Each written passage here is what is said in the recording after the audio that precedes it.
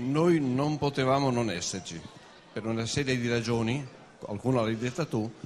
le altre provo ad esporle sinteticamente. Siamo una banca del territorio da oltre 150 anni legata a questa area, della quale abbiamo concorso eh, allo sviluppo produttivo e a, alla eh, ricchezza delle famiglie. L'abbiamo fatto stringendo un forte legame di comunità che non è mai venuto meno e che ci riproponiamo di continuare e l'abbiamo fatto seguendo gli imprenditori nelle loro iniziative, cercando di appoggiarla e seguendo anche le inclinazioni diciamo, dell'imprenditoria locale.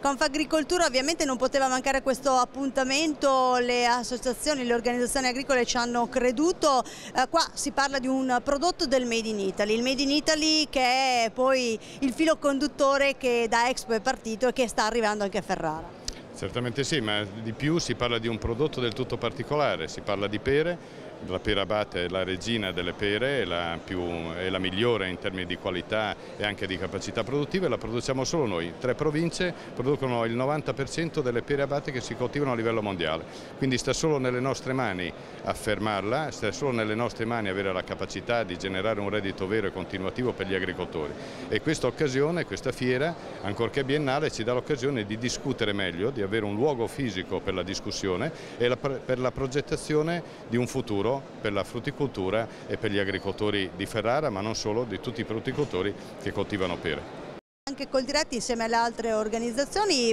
presenti per ricordare che questo prodotto, la pera che in questo momento lei tiene nelle sue mani è un prodotto fondamentale per questo territorio e non solo per questo territorio. Beh, eh, innanzitutto la pera e, e l'abate, in particolare, poi questa non è un abate, però mi, mi, mi si conceda insomma, il passaggio, è, rappresenta Ferrara ed è il, il, il, prodotto principe del territorio ferrarese e quindi come tale va, diciamo, al di là delle sue ottime qualità organolettiche e nutrizionali, va promossa e va incentivata la vendita e la produzione di questo prodotto meraviglioso che rappresenta poi tutto il territorio ferrarese. Ecco.